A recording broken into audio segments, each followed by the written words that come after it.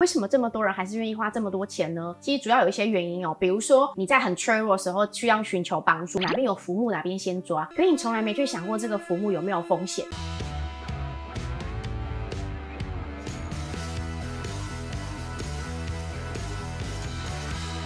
把生活想成诗，让心灵更舒适。欢迎收看 Ariel 聊心事。Hello，大家好，我是 Ariel。不知道大家身边有没有一些亲友啊，会不惜很多的，就是资金，然后去投入在一些很独特的课程里面，什么快速致富啊，什么解决亲密关系啊，来了包准让你没有负面想法，解脱你心里的痛苦，就是那种听起来好像短短的一句话就能够完全处理掉你人生很大很大的不舒服。因为前阵子沸沸扬扬的嘉宁事件，让我们可以去醒思看看，究竟什么样的心灵课程。是我们可以信任跟安全的什么样的课程可能会因为这个信任制度而有伤害的风险？接下来 Ariel 一步一步跟大家说明怎么样去判别这样的团体，大致上大概都是用什么样的手法让我们可以情感依附在上面。这种大型的团体觉醒训练啊，很多时候他会先剥夺你的自信，可能他会去否认你人生前面的历练，就是啊你以前啊那行不对啊，你这样是不 OK 的啊，他会用这样的方式让你觉得，所以我错了吗？我现在才会这么痛苦，所以我是不是哪里做不好？我现在才会那么脆弱？这是他们的第一步，再来会建立一些导师权力制度，就是会跟你说，你我们这边有一个很厉害的，看过很多人生百态这种自胜导师，你必须信仰他，然后相信他的理念，你才有办法重找你的自信跟快乐。在第三个，他就开始渐渐跟你说，这么好的东西，你自己现在感受到了，你怎么没有跟亲友分享，跟你的好朋友分享？其实，在一个健康的状况下，你自己来就自己来就好，你其实没有跟别人分享，那也是你的自由，每个人都是自由的。他会开始给你一些压力，甚至告诉你，哎，那个谁谁谁都带他朋友来，就变得说这种照顾你身心。的东西反而另外又是一层压力，这是他们的第三步，第四步最麻烦了。有一些这种课程，就是他还会运用最后的保密协议哦，让你跟外界有一些距离。他会说，哎，我们里面有保密条款哦，没有加入我们的是不可以知道的哦。医疗里面如果在智商团体里面的保密条款，他所签署的是不要去分享个案的隐私，因为你在团体里面可能会听到别人人生的辛苦的故事嘛。保密条款的合理健康性应该是不去谈论别人，但是是可以去讲自己的感受的哦。你是可以去分享说，我这次在心理。智商的这个团体里面收到什么样的收获？你可以自主的分享你自己的事，不要讲别人的，因为要尊重每个人的隐私嘛。为什么这么多人还是愿意花这么多钱呢？其实主要有一些原因哦，比如说你在很脆弱的时候需要寻求帮助，但是可能以前没有去分析这些方式的健康与否，哪边有浮木哪边先抓，可你从来没去想过这个浮木有没有风险，你已经对它产生情感依赖了。再来，因为你投入那个时间其实已经蛮多的了，可能导致大家都有一些对你的认可，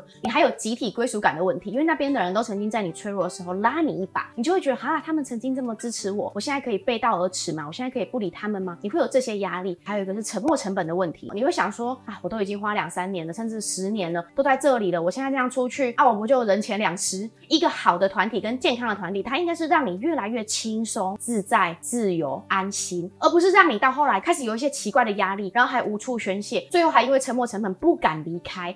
那我们要如何去分辨这些课程到底是不是健康、对我们有帮助的呢？其实，首先你一定要知道它到底是不是公开透明、合理的专业资讯，应该是在网站上，或是文宣，或是在实体课程，你都可以明确拿到一些，就是它的 SOP 跟课程可能会怎么进行，甚至是它的收费会很明确。它第一次就会告诉你，参加这样的团体你需要准备多少的费用，不会再会有额外的费用，不可能。再来，这种团体智商或是团体课程，可能它没有办法被预期疗效。当然，多次参与渐渐可能会对你。心灵上有一些心态上的改变，但是他不可能跟你说什么一次有效，不太可能。短时间有效这件事情，你可能想一下是不是哪里怪怪的？在整个过程中啊，你可以去询问那个办理课程的人，中途退出会不会有什么问题？在健康的团体里面，会是有自主性的尊重，你随时要离开都是没有问题，不会给你压力，也不会情绪勒索你说哈，你要离开，我们之前这样帮助你耶，你再想想看吧。理论上你要离开，我们会尊重你人生所有的选择，因为你才是你人生的主人啊。所以以上的指标让大家可以用一些安心的方式去筛选你想要。参加的一些比较公开合理的这些心灵课程。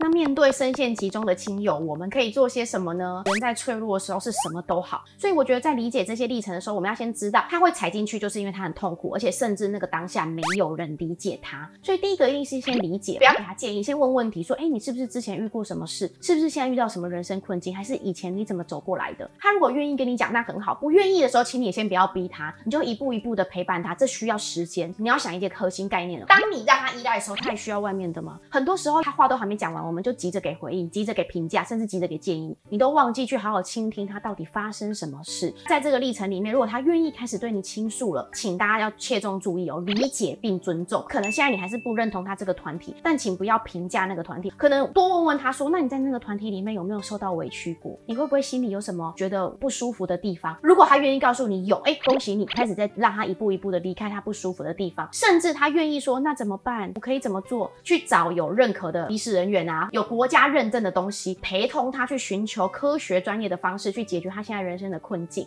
然后让他跟你有更紧密的情绪连接，这样一步一步才能帮助他们找到真的安心的地方。最后，Ariel 跟大家分享哦，不管你自己曾经现在在参与，或者是亲友在参与这样的可能让你觉得有点不舒服、怪怪的课程，请千万不要自我评价，觉得自己很笨很傻，或评价家人很笨很傻，因为这都是可能我们曾经的浮木。我觉得没有关系，我们只要把它辨别说，其实真正对我们有帮助的，可能是完完全全安心且自在，并不会有压力跟委屈。当我们能分辨这些的时候，我们才能一步一步透过刚刚以上述的说明，来替我们增加就是寻求帮助的安全感跟稳定感。那今天我们就录到这，下次见拜拜。